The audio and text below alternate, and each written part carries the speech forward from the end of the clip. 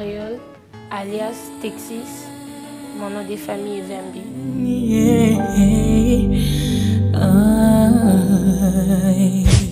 Je chante toute petite et je suis sortie aux yeux du public euh, à l'âge de 7 ans. J'ai commencé à l'école avec des poèmes, à proclamer de scénettes et tout.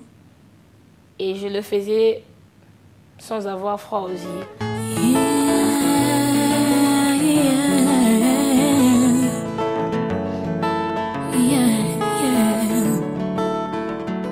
J'ai toujours été devant les gens.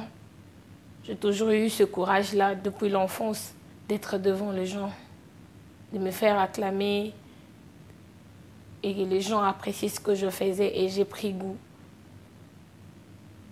de continuer avec. L'amour est notre richesse.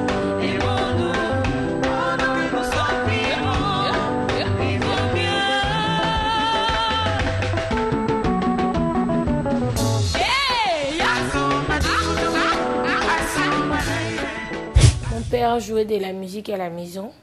Son artiste préféré Papa Wemba. Bien qu'il est parti, il nous a laissé beaucoup d'œuvres. Il est mon idole. Hommage à toi, Papa Wemba. Relon.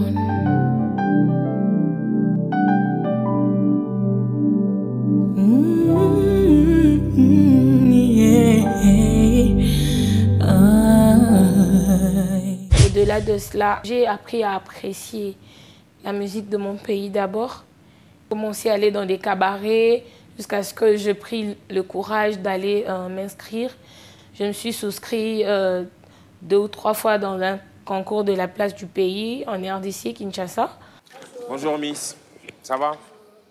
Bah, Écoute, welcome. Bienvenue dans le casting Iceland Africa Talent. Euh, Qu'est-ce que je peux te dire? Fais comme tu veux, c'est toi la boss.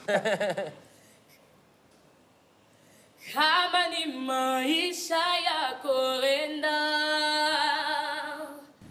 Jusqu'à nos jours, je continue avec la musique, jusqu'à ce que je sors euh, mes opus et que le monde apprenne à écouter pas Auréole, l'interprète du concours, mais Auréole euh, avec son univers artistique.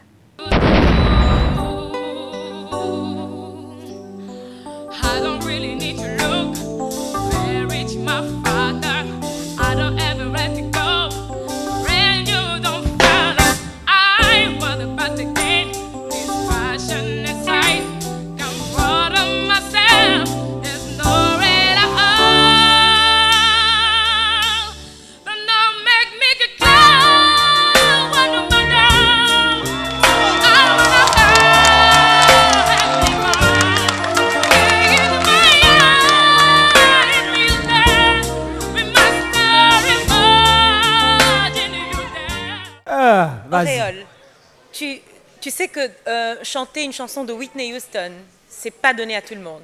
Parce que c'est un classique, c'est un répertoire qui est un répertoire qui demande d'avoir une vraie voix. Et franchement, j'ai envie de te dire ce soir que si tu restes dans cette. euh, Vraiment, tu, prends, tu gardes cette allure, Oui. j'espère que tu feras partie de ceux qui resteront parce que tu as une voix et tu mérites de faire partie des meilleures voix féminines de la RDC. Je suis plus basée dans le RB, mais cela ne m'empêche de ramener ma touche à moi dans la musique de mon pays, la rumba congolaise. 6. Hommage à toi, Papa Wemba. Relon.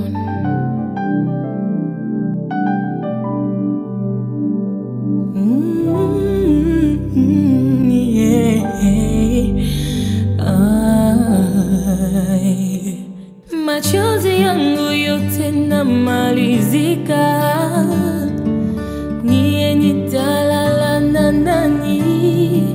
When